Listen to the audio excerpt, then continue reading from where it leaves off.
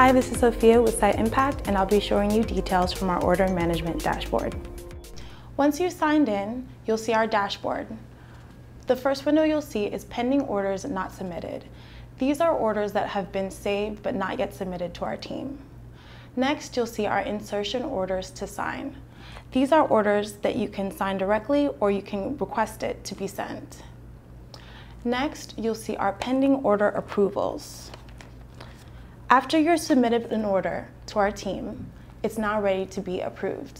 You can approve it here, or you can also go into the order and approve it there as well. Lastly, you'll see our recently completed orders.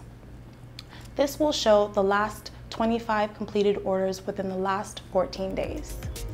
And that is our order management dashboard. For more information, just visit our website, siteimpact.com.